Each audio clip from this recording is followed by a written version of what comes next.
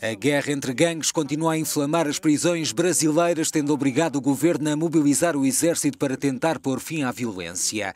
A polícia voltou a intervir esta terça-feira na prisão de Alcaçuz, nos arredores da cidade de Natal, para pôr fim a novos motins após o massacre de 26 detidos no estabelecimento durante o fim de semana.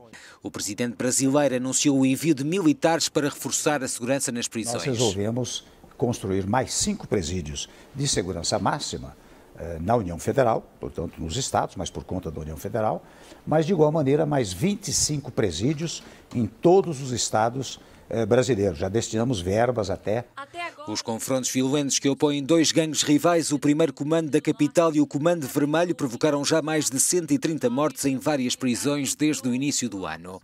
Segundo a polícia, o grupo de presidiários na origem dos confrontos desta terça-feira estaria a preparar um novo massacre ao atacar um pavilhão onde se encontravam vários membros do grupo do primeiro comando da capital.